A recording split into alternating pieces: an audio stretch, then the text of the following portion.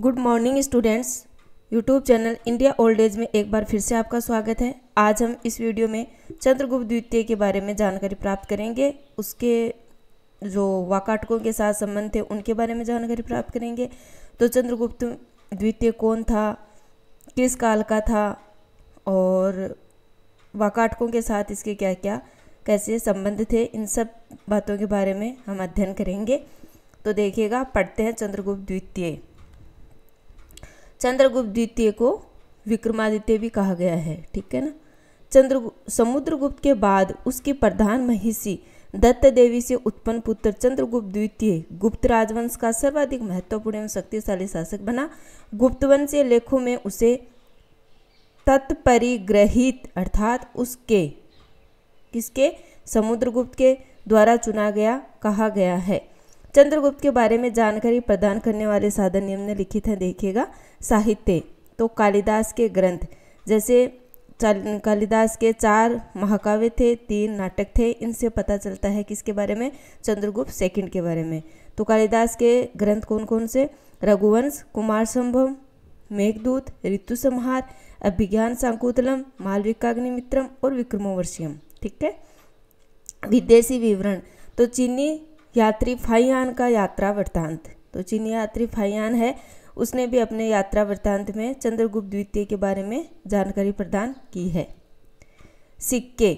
स्वर्ण रजत, ताम्र के विविध प्रकार के सिक्के हैं, उनसे चंद्रगुप्त द्वितीय के बारे में जानकारी प्राप्त होती है।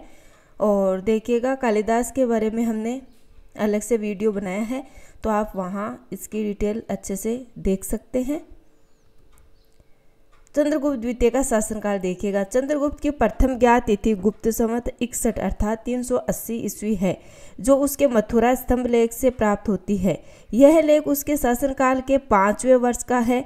इससे ऐसा ज्ञात होता है कि चंद्रगुप्त ने 375 ईस्वी में अपना शासन प्रारंभ किया था। उसकी अंतिम तिथि गुप्त संवत तिरानवे अर्थात 412 ईस्वी लेख में उत्कीर्ण मिलती है, जिससे स्पष्ट है कि वह इस समय शासन कर रहा था। चंद्रगुप्त के पुत्र कुमारगुप्त प्रथम के राज्यकाल की पहली तिथि गुप्त संवत छाण अर्थात 415 ईस्वी, उसके बिलसद लेख में अंकित है, जो इस बात की सूचक है कि इस तिथि तक चंद्रगुप्त का शासन समाप्त हो चुका था।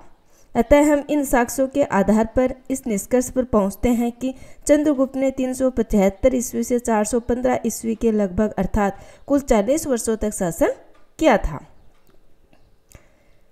चंद्रगुप्त द्वितीय का शासनकाल अभूतपूर्व उन्नति का काल था।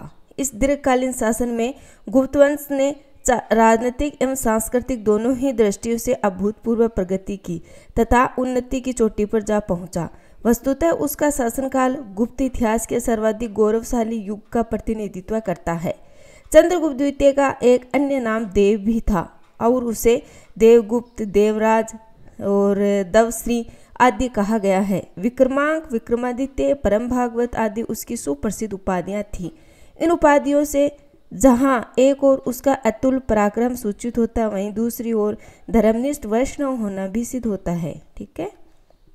चंद्रगुप्त द्वितीय के वाकाटकों के साथ संबंध कैसे थे? वाकाटकों के बारे में वीडियो हम आगे आपको दिखाएँगे। तो चंद्रगुप्त द्वितीय विक्रमादित्य के काल में हमें गुप्त वाकाटक संबंध के विषय में यह जानकारी प्राप्त होती है कि चंद्रगुप्त द्वितीय एक महान दूरदर्शी सम्राट था। राज्यरोहण के बाद उसकी मुख्य समस्या गुजरात तथा काठियावाड़ से शकों के उन्मूलन उन्मूलन की थी।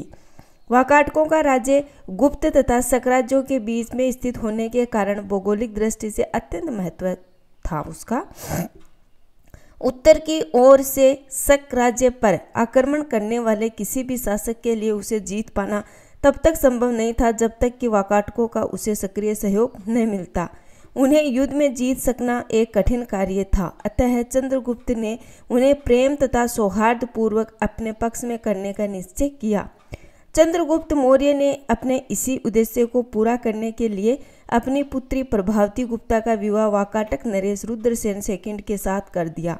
इसके परिणाम स्वरूप दोनों राजवंश एक दूसरे के निकट संबंधी बन गए।